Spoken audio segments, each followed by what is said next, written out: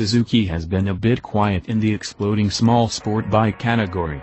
While everyone else has been delivering faster, better-looking equipment, Suzuki has gone one offering the positively dowdy GW250.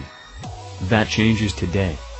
Flanking the new SV650 that was launched earlier this year, Suzuki has released the 2017 GSX R250 at EICMA to shore up its entry-level RAM.